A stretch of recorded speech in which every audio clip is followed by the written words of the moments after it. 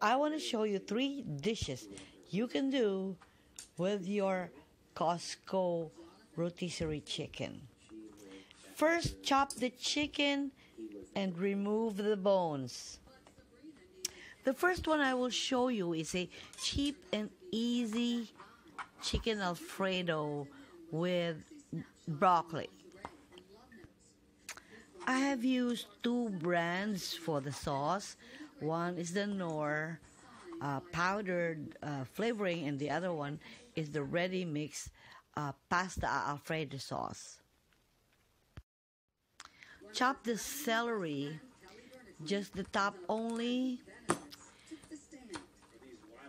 And when it's done, we can put it in the ready cooked sauce.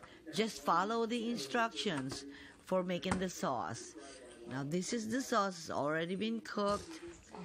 It has the um, pasta in it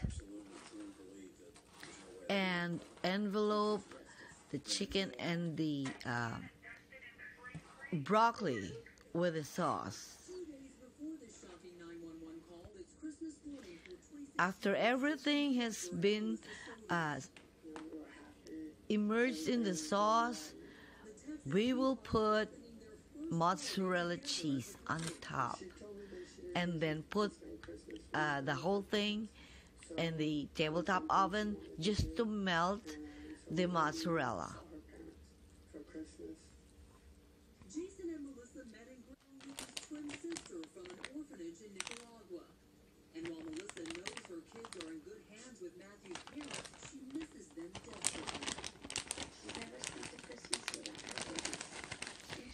Aside from this, you can also use the chicken for uh, pancit canton and chicken salad.